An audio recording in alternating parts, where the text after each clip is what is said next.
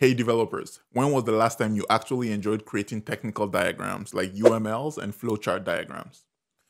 Yeah, I thought so. Now, imagine a platform that not only makes creating technical diagrams easy, but also helps you brainstorm and design system architectures, data flows, and more all in one place. That's Miro. Miro's innovation workspace takes the heavy lifting off your plate. Whether it's a flowchart, a UML diagram, or a sequence diagram, all you have to do is describe what the system does, select the type of diagram you want, and within seconds, Miro's AI creates a clean professional diagram for you. And it gets even better.